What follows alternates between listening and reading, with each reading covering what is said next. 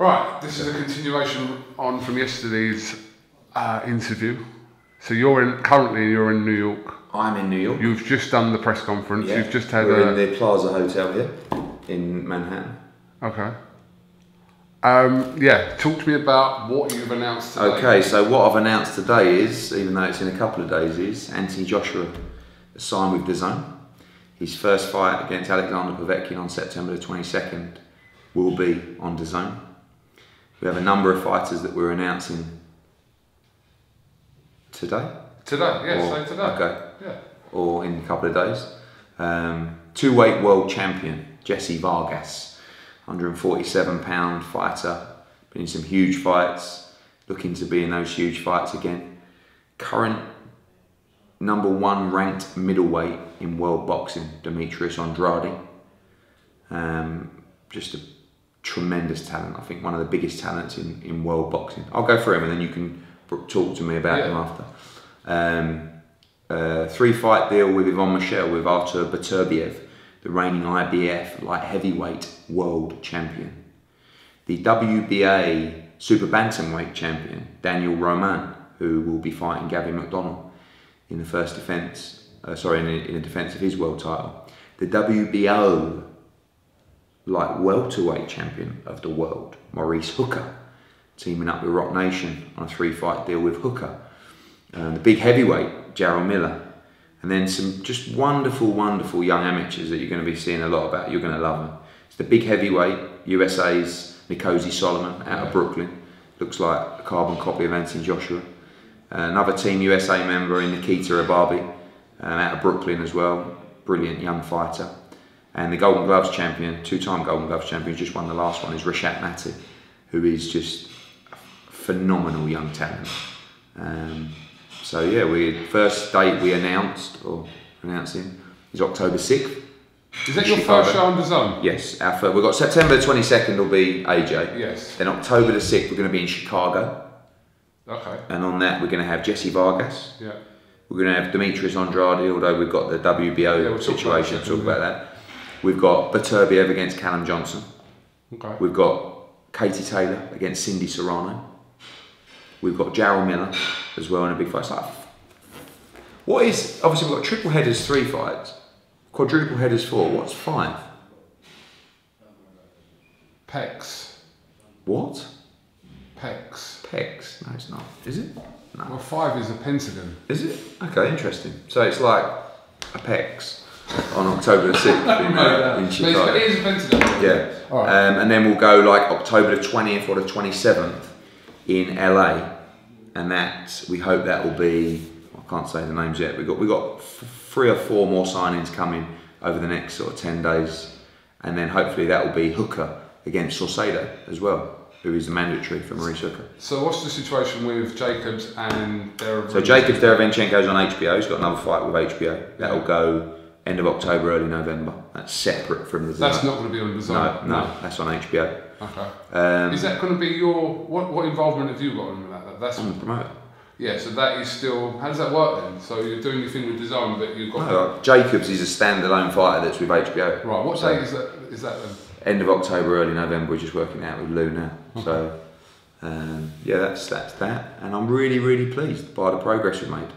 Uh, got three reigning world champions already signed, and and the key for us is to not just show the market and the fighters that we're signing, who we're signing, but also be able to set up fights for existing people that we're talking to.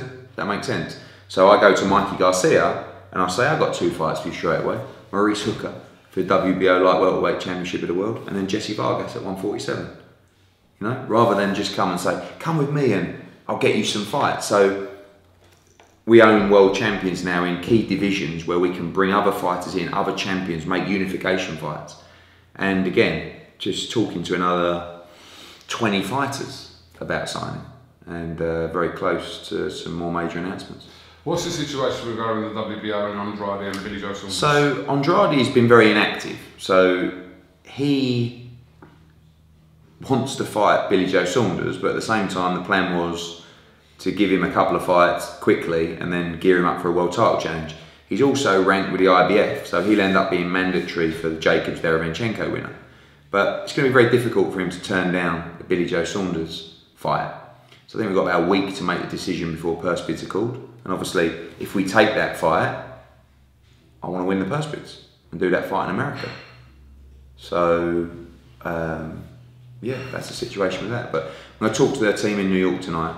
And like I said, the original plan was get active again, have a couple of fights, and then change for the WBO or the, the Jacobs Derevyanchenko winner.